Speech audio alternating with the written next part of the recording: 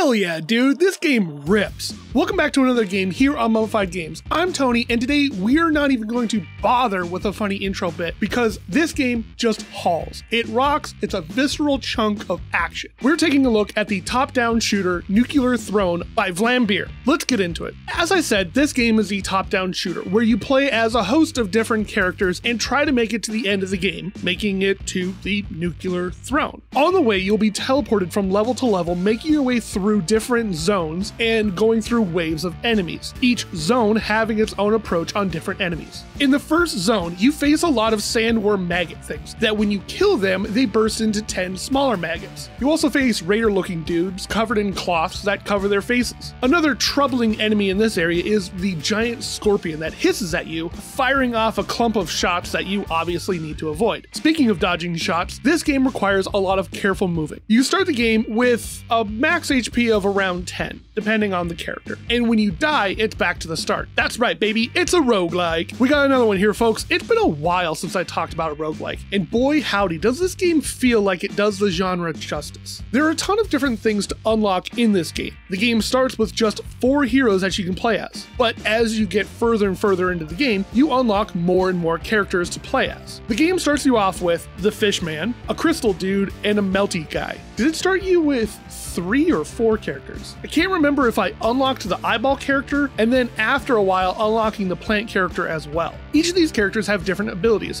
where the crystal has more starting max HP and can make a shield for a little bit. The fish can roll and get out of the way while getting more ammo and health drops. The game has an amazing level of character design. Each of the player characters feel unique, while the enemies are varied and different as well. The game feel in it is also spot on. The game has a great visceral feeling to it. The bullets feel like they have weight and the guns sound different and unique. There's about 120 weapons BT dub. Speaking of things sounding great, the soundtrack by Jukio Kallio is so good. The sitar and the haunting vocals add to this idea of a post civilization world that you're running and gunning your way through. And it's on Spotify. That's 34 more songs going into my lyricless song playlist. Come on now. While you're out and about mowing down enemies and moving from level to level, enemies drop vials of nuclear waste, and this is what acts as the XP. Get enough of it, and you will level up and get a new mutation. You can pick from four at a time. Things like slower enemy shots, higher max HP, shots taken might also return as bullets, faster movement, tons of different mutations that your character can pick up and help them get farther in the game. I can't tell you how much fun this game is. It gives off big Enter the Gungeon vibes, vibes that are so strong, I had to double check who the developer was and what,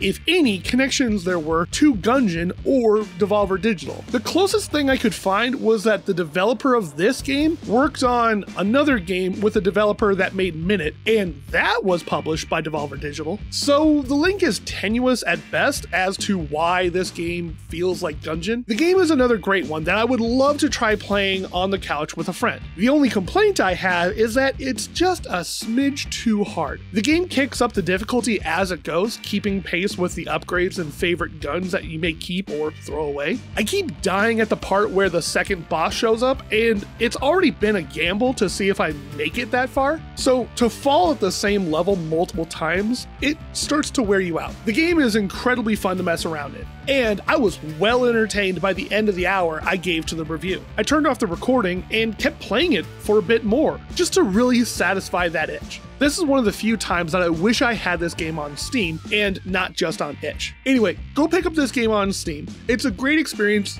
and I could not recommend it enough. For those of you who have played Nuclear Throne, what were your thoughts on it? Is there a character you played a lot? What was your favorite gun? I found the auto shotgun. Woof. That took me places. If you haven't played this one, what is another top down shooter like that that you've played and loved? I want you to tell me more about it. In the meantime, I was editing Web Games 4 last night and I was taking a look at the page for Pumpkin. I found out that there was an HD version of that game that you could download. If I have the time tonight, I might just go give that a try. Oh, and finally, a negative side effect of doing these videos has finally shown up. I'm starting to hate the sound of my own voice again.